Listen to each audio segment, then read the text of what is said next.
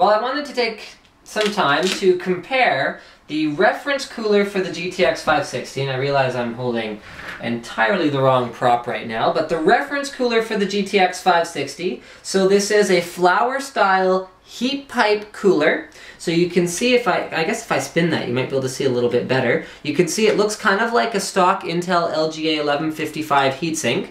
And then there's three heat pipes that come out of the top. Can you, can you see in there okay? What if I turn it like this? Can you see the heat pipes?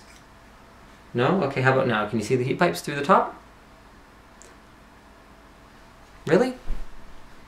You can see the heat pipes. Okay, one, two, three heat pipes like that. So those are spreading out into a uh, like fin arrangement on either side. So it's actually kind of like the MSI Cyclone cooler in design, but it's covered with a shroud. Now, some of the exhaust is going to come out here, some of it's going to come out here, some of it's going to come out here, and some of it's going to come out here. So uh, while it does have a rear exhaust vent, for all intents and purposes, we can consider this a sort of 70 to 80% internal exhaust card. Now, I wanted to compare that to the MSI GTX 560 Twin Frozr 2. Now, this is not that card. This is a GTX 460 Hawk. The Twin Frozr 2 card is actually on the test bench right now preparing for my idle temperature measurement, but I'm going to compare both temperatures and noise levels of the Twin Frozr 2 heatsink, which looks like this. Now this is an almost entirely internal exhaust heatsink as well. You can see we're going to get some incidental airflow from this fan coming out here, but other than that, there's a lot of exhaust coming right through the card here in the gaps,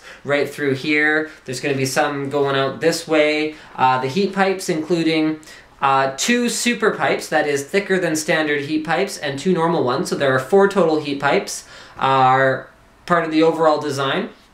It does use a dense fin arrangement with dual fans in order to achieve what MSI claims is up to 20 degrees better cooling under load than a stock cooler. Now, it's become a little bit challenging with recent GPUs to measure maximum load. So instead of using Furmark, which was my traditional favorite, um, because of the way they've locked them down to actually underperform in Furmark so that you don't blow out your GPU by benchmarking Furmark all day, which I can kind of understand, what I'm actually going to do is I'm going to loop the Heaven benchmark and then just find the highest temperature recorded during the entire thing. This will be lower than normal, so probably the delta will be lower than we'd normally see, but I guess it'll give us a more realistic look at what kind of noise and what kind of temperatures we're going to get with these cards in a gaming scenario. So right now, I'll show you guys my testing methodology. I've got the GTX 560 on an open bench. Bear in mind, open bench is going to be up to 5 to even 10 degrees cooler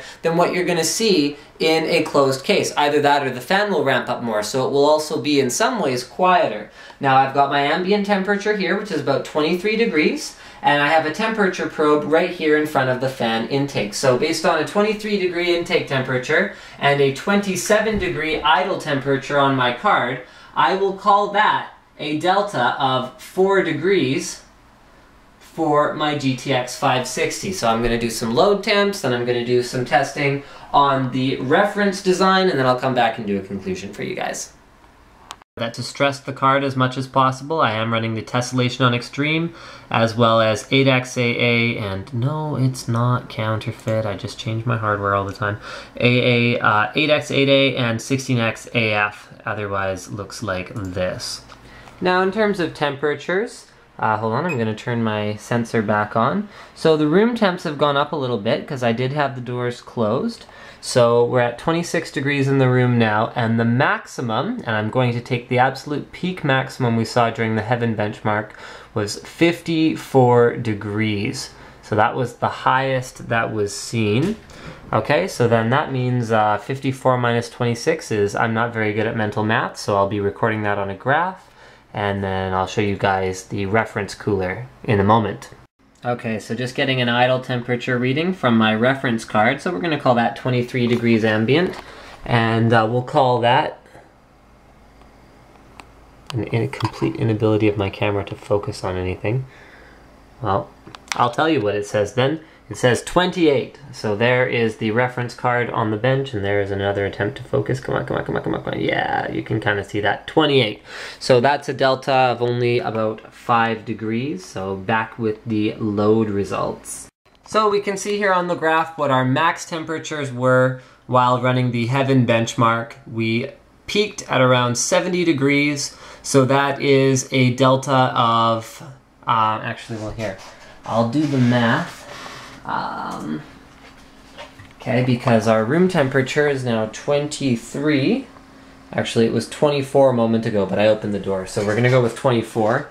Uh, either way, here is the data. I'm not to bother graphing this for you guys, I'm sorry. So with the Hawk, we had a 4 degree delta from the room temperature uh, up to the temperature of the GPU at idle. So a 5 degree delta on the reference card. But then when we look at the load temperatures, it is almost as advertised on the MSI box, almost a 20 degree difference between the 560 Twin Frozr 2 and the 560 reference card. So you can see that MSI does advertise 20 degrees Celsius cooler now.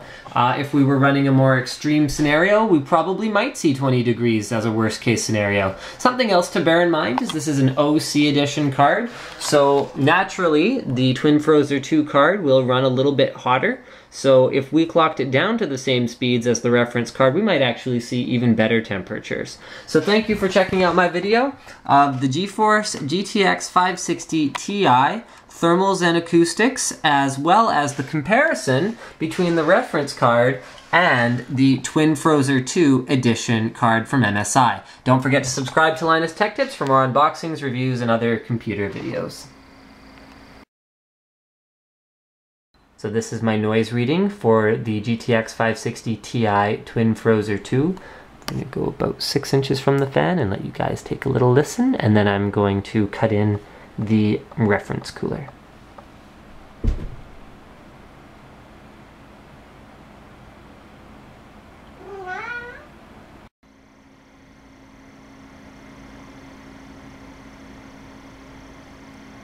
And here's my load test on the Twin Frozr 2, so I'm just going to move my normal distance from the card. And I'll cut in with the reference cooler